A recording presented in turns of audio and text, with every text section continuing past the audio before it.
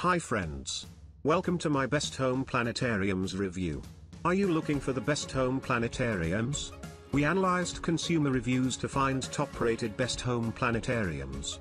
We are going to review the top 5 best home planetariums on the market. Subscribe to our channel and get more info and real-time deal on your favorite product. Let's start. Number 5. Bresser Junior Astro Planetarium Deluxe. This model is very good and, therefore, also its price performance winner. It only displays 8000 celestial bodies simultaneously.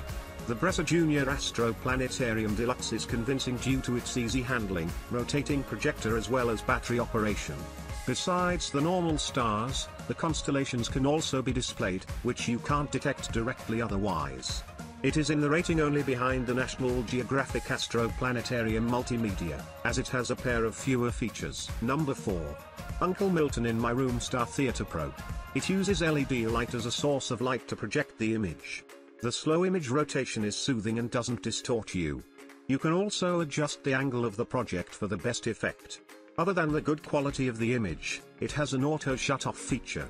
You can set either a 30 to 60 minute auto shut-off timer, it uses three AA batteries and also includes the USB cord as the power source. The package includes two star discs, Star and Earth Moon Sun. Number 3.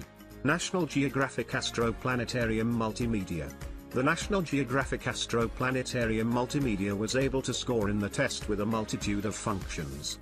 With the help of the two included discs, 8000 stars each can be displayed, once with star images drawn in and once without. The star images have also been inscribed in Latin. At a distance of 2 meters between the projector and the wall, the projection area is about 5.9 feet by 7.2 feet large. Focusing the projection is quite easy with the focusing wheel around the lens. Number 2. Homestar Classic. It has the 15 to 60 minutes auto shut-off timer, shooting star function, and star rotation. According to the manufacturer, 60,000 stars are projected by the variant. The projection was clear but required some adjustment of distance. There are two star discs included in the Sega Toys Homestar package, but you can always buy more from the same seller. The rest of the feature is almost the same. Number 1. Sega Toys Homestar Flux. It provides lag-free quality connections, where the 200 megabits per second speeds on the 2.4 GHz band perform well for normal daily tasks such as web surfing using legacy devices.